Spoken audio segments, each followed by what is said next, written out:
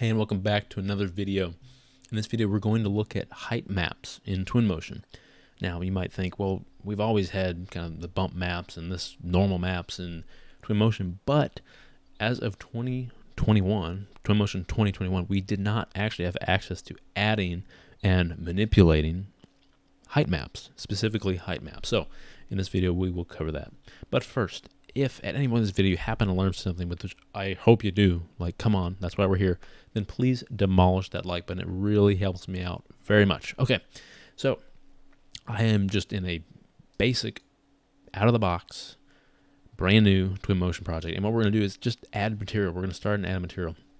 So let's use a brick. And I like to show this with bricks because we can really start to see a big difference, mainly because there is already a built-in height difference between kind of the brick and mortar. So what we want to do is just really any of these bricks will work. But I'm, I want to point out I'm starting with a Twinmotion material first, and we'll, we'll look at the others and see how this works out. So I'm going to just throw in this clean brick, and I'm going to move up here, and we can see, you know, it, it's not bad. It's looking pretty good already. Uh, it, it does have some of this built in and turned on already, but I want to show you where you can find height maps specifically. So we have all of our color maps, we have our reflection scale, whatever that's all fine. But within the settings, we can see we have bump, and we're very we're very much used to seeing that, and we we know what bump does already. But whenever I hit more, we can see there's my normal map, which is really what's doing kind of more or less everything when it comes to the height and really giving us the detail uh, in contrast between one part one part being high and one part being not. But with the addition of height maps within 2021, we can see that there's this parallax option. So if you're familiar with parallax at all, you've probably seen it when it comes to websites and and how you can get some kind of artificial dimension between some elements, and it usually has to do with kind of multiple images stacked or just an effect that's added. And the parallax effect itself is that that extra dimension, and it's not that we're in this case using a different map; it's just using the normal map, but the addition of the height map allows the, the parallax to push and pull and to get more dimensionality from these materials that we wouldn't normally have with just the normal map. So the parallax being on, we can see on versus off. We can kind of see a slight difference, and you know it does look better with it on. We do have that extra dimension. If I stop it here, we can see uh, the distance between the grout and the edge of the brick itself is very minimal. Whereas whenever I turn this on, we can see that there's an a, we get that extra dimension. It's hard, really hard to explain without uh, really going into parallax here and showing you more. So whenever I click on more, we can see there's my height map, and then there's my intensity.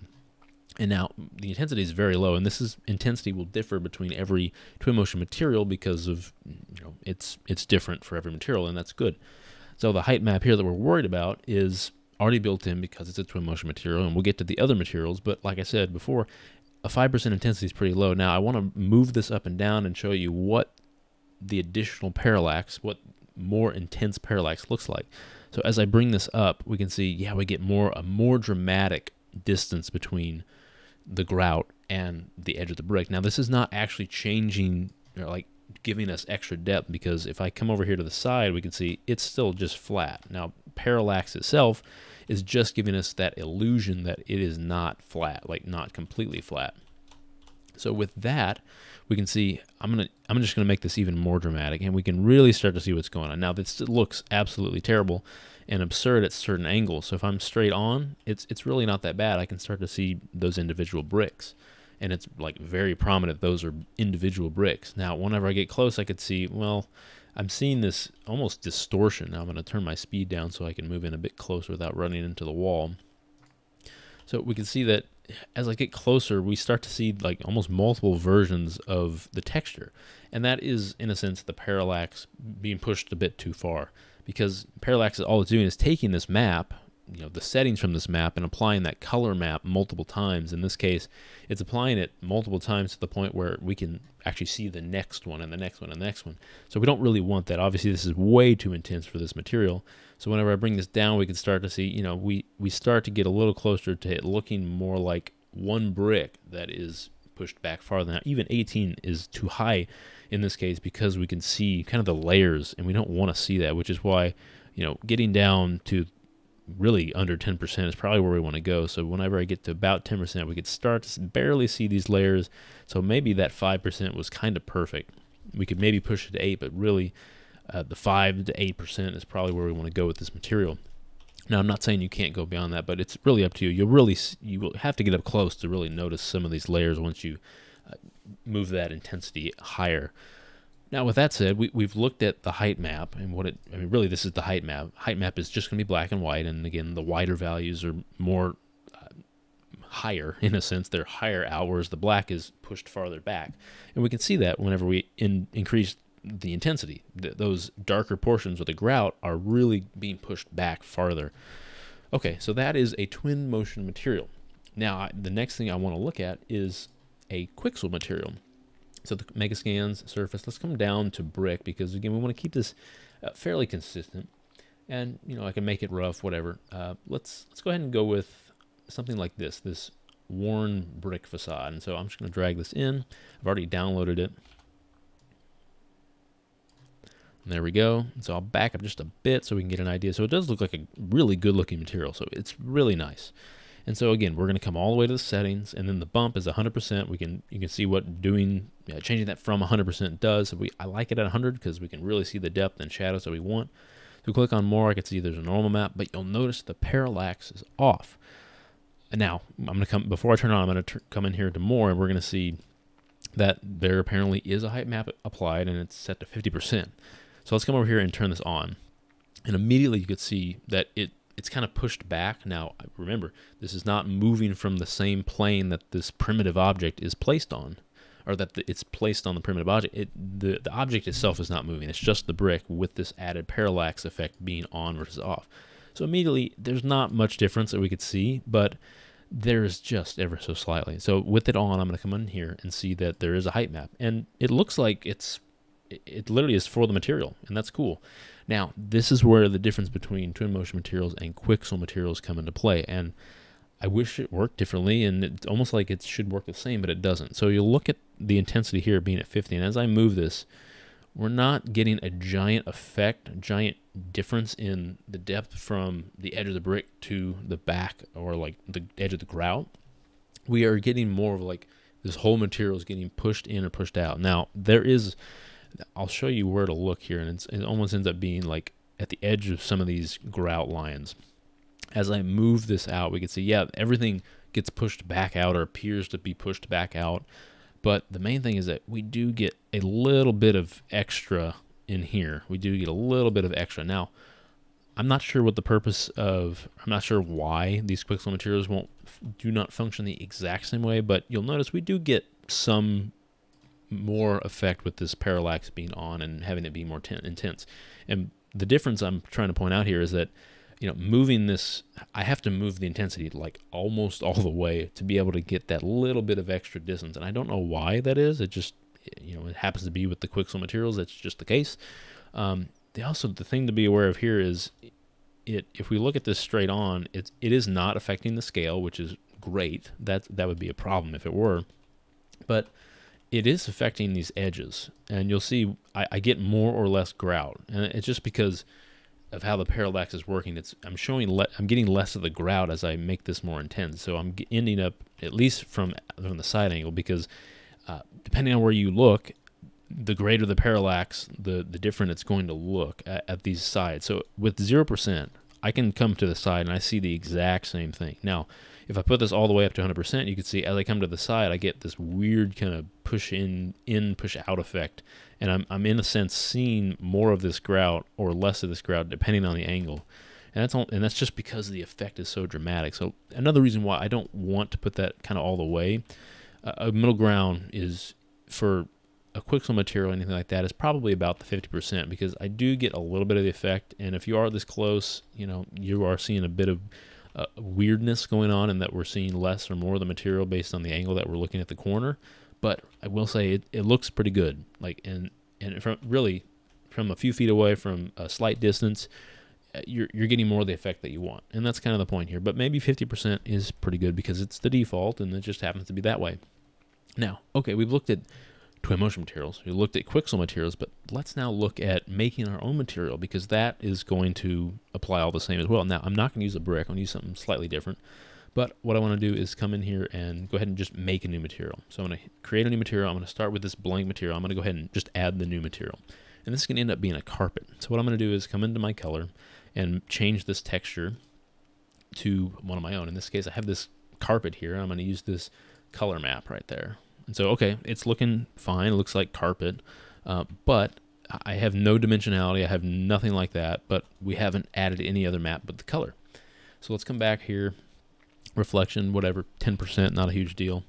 I will come in here and then I'll take advantage of this and add my ambient occlusion, which is not going to do much because it's mostly white. There are very few places that aren't completely white, but that's fine. I'll come into my settings and I like to do this with my own materials, and I find that it doesn't make a huge difference, but I want to go ahead and turn the metalness on, and you'll see metalness on. Why would you do that? Well, I would do that because I'm going to end up adding my own roughness map, and that will then change the look based on the actual roughness and not just turning the metal on or off. So with it on or off, I get this generic looking I mean, it's just generic. We don't even know what it is, but my guess is it's completely white in that everything is metal. Where in this case, it's carpet, so not everything is metal.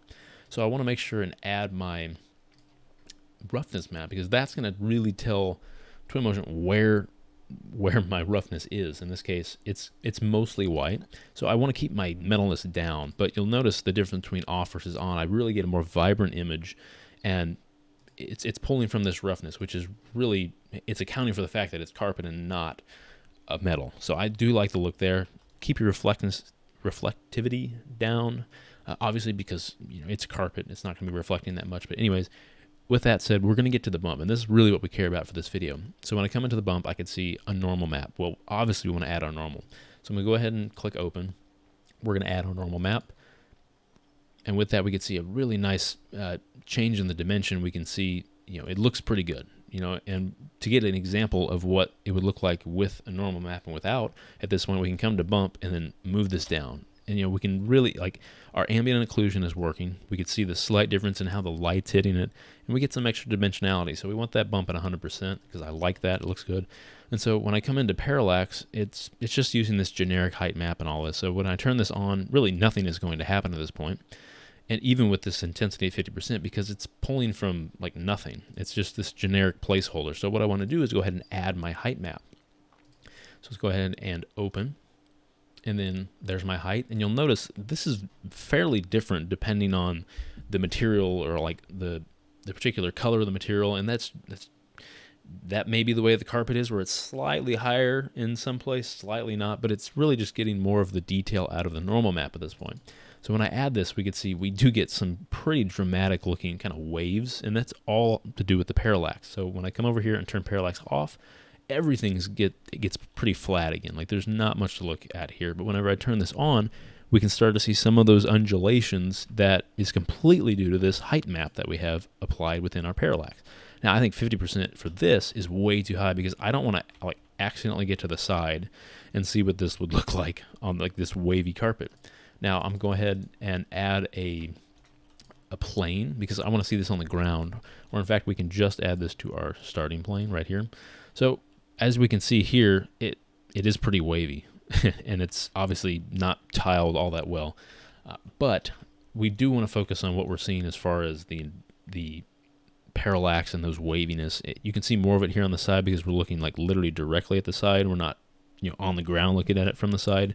But you'll notice as I increase this so much more, we can see like there's almost this giant cave, this giant concave portion in the carpet, which is completely incorrect because as I move up here, we can see it's actually flat. I, I don't want that look at all, which all that tells me is that it's too intense, of course. It's way too intense. Uh, I do want this effect, but I don't want it that intense. So I will bring this, you know, really pretty close to zero because I don't want it like really that dramatic. And so this is giving me more of the effect that I want, especially from the side view. I can see there's a slight difference in uh, the carpet depending on where it is, what kind of color it is, whatever. And but it's not completely, completely, completely fat, flat because every material that you, even in the real world if, if it's something like carpet, is not going to be completely flat, even though it appears to be, which is why I want to put it at just 5%, which is just barely off of zero. It gives it that much more dimensionality and I think looks so much better. So we, what we've looked at in this video is the difference between adding the height maps and what they do, period, but the difference between Twinmotion materials, Quixel materials, and then making our own.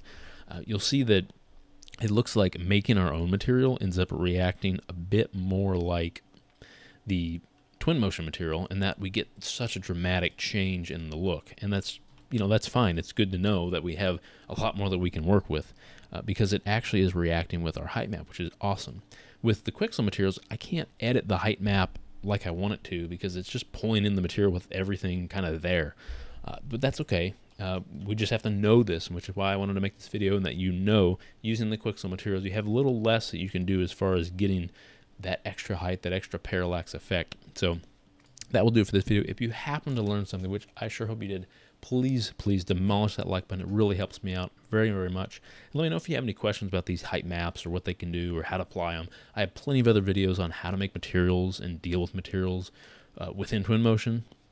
So please check those out. But yeah, that'll do for this video. I hope you have a wonderful day. Thank you very much for watching. I'll see you in the next one.